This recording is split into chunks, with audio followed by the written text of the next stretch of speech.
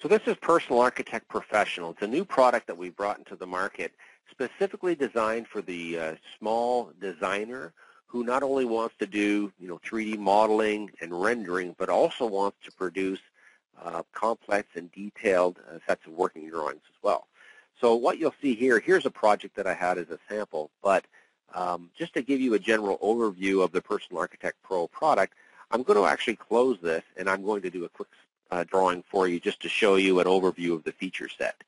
You'll see that we have uh, building information, uh, interior information, landscaping, terrain, and on the side we have a catalog that's completely customizable.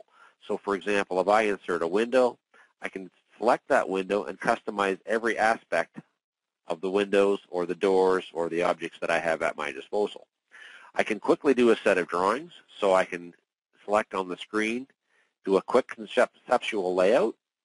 In this case, I'm going to actually close the building. I'm going to do some interior walls. I'm going to insert some doors and windows.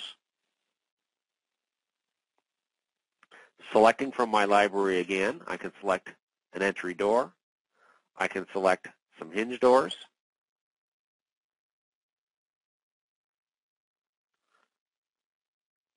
I can also select some windows that I've customized.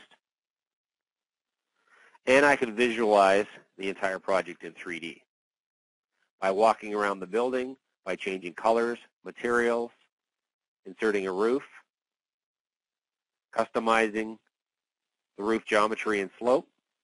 I can create the building to any specification that I need to.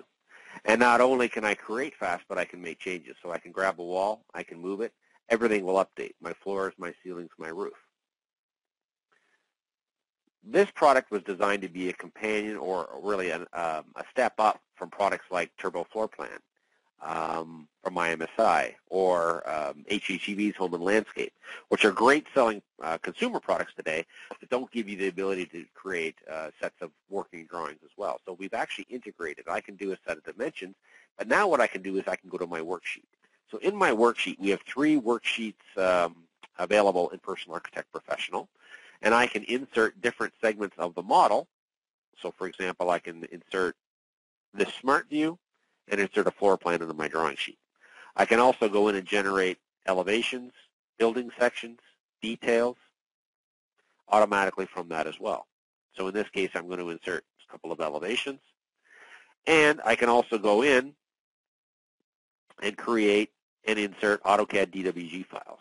So in this case, I'm going to um, create a detail and insert that onto my drawing sheet as well, all generated automatically from this 3D model.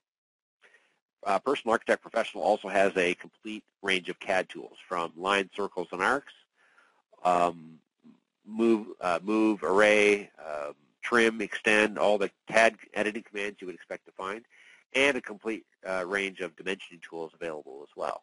So the Personal Architect Pro product, um, very inexpensive, very easy to learn, and gives you a, a, good quality tool range from 3D modeling to rendering to animations um, and the ability to produce a small set of detailed working drawings as well.